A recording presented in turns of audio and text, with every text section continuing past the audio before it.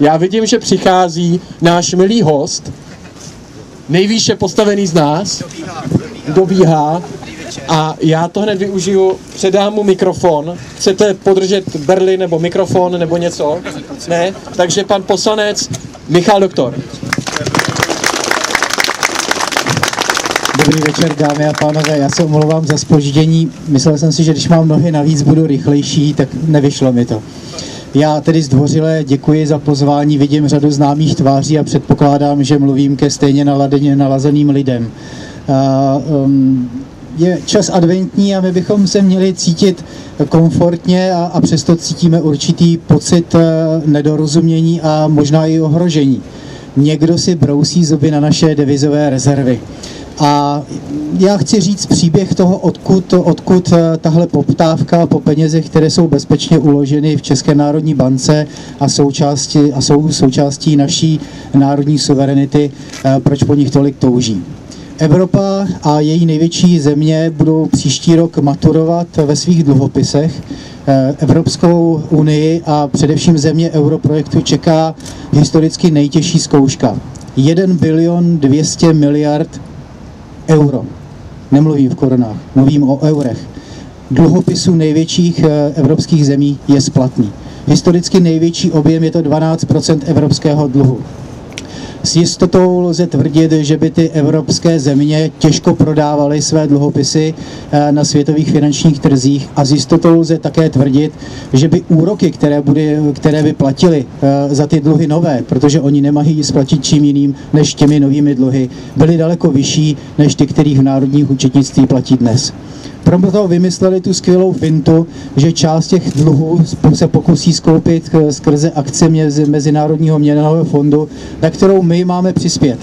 Já nevidím žádný důvod, proč přispívat na takový projekt, kde neznáme žádné vstupní podmínky.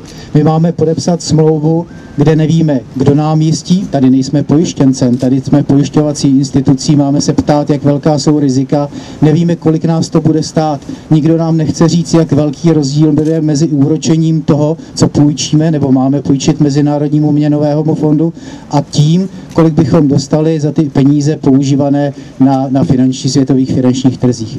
Já myslím, že za těchto podmínek nemůže vláda jinak jednat, než odmítnout tento projekt být velmi zdrženlivá a obezřetná. Má si být vědoma toho, že pokud jiným ekonomikám uleví, s docela velkou pravděpodobností tyto země, ty, jejich národní ekonomiky použijí tyto zdroje v souboji s naší ekonomikou.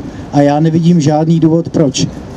Biankošekem pomáhat sousedním ekonomikám v souboji s ekonomikou českou. Takový je můj postoj, taková je pozice a věřím, že i vaše. Děkuji vám za pozvání a buďme pevní a přesvědčení. Děkuji moc panu poslanci doktorovi. A já předám mikrofon zpátky předsedovi Pražského združení Karlovi Zvárovi, aby, aby akci uzavřel, jak už je na něm. A já se s vámi všemi loučím. Naschledanou.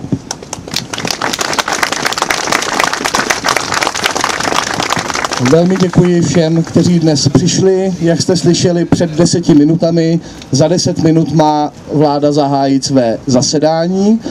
Také nebudu nikoho nabádat, nicméně hned kousek odtud má, má svoji demonstraci zpřízněná před chvílí přítomná eh, politická strana Suverenita Jany Bobošíkové, eh, takže jestli chcete, můžete se vedle přesunout.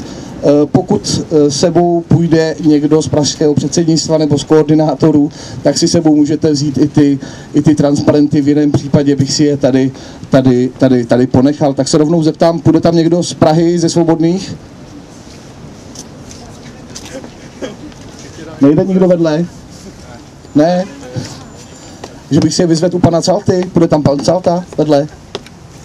Bude?